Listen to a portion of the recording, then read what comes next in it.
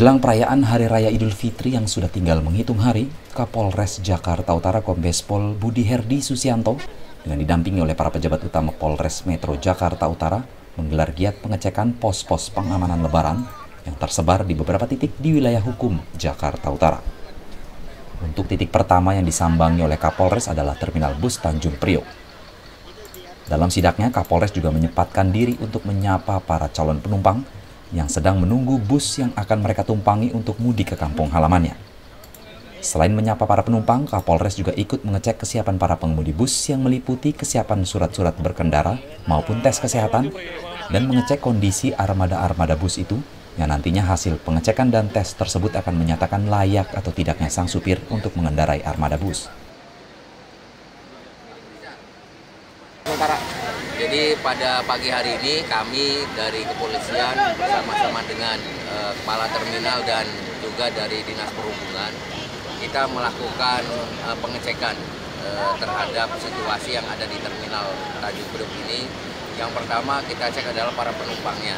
Kita yakinkan bahwa para penumpang aman, kemudian tidak menjadi korban kejahatan dan kita selalu mengingatkan mereka untuk selalu berhati-hati.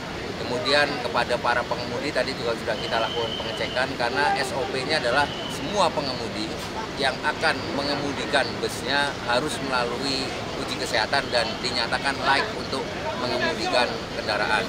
Tadi ada beberapa yang memang belum melakukan uh, uji kesehatan itu langsung kita minta dan sudah kita arahkan untuk melakukan cek kesehatan terlebih dahulu. Walaupun nanti di luar juga ada pengecekan dari kepala terminal dan stafnya untuk mengecek apakah uh, uji kesehatan sudah dilakukan atau belum. Ini semua adalah demi kenyamanan dan keselamatan semua, baik itu pengendara maupun penumpang sehingga mereka semua diharapkan bisa selamat sampai tujuan dan tidak terjadi apa-apa selama kemudian. Selesai meninjau terminal bus Tanjung Priuk, Kapolres menuju Mangga 2 Square yang merupakan salah satu pusat perbelanjaan. Dalam lawatannya, Kapolres terlihat akrab dengan para pengunjung yang sedang berbelanja kebutuhan Hari Raya Idul Fitri.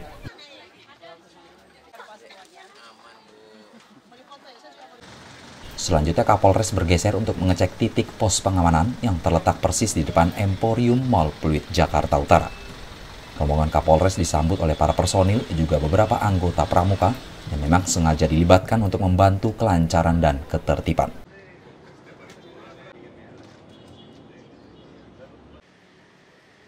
titik yang terakhir, Kapolres beserta rombongan mendatangi pos pengamanan yang berada tepat di dalam Taman Impian Jaya Ancol, yang diprediksi akan menjadi salah satu tempat wisata yang akan dituju oleh masyarakat Jakarta yang tidak mudik ke kampung halamannya.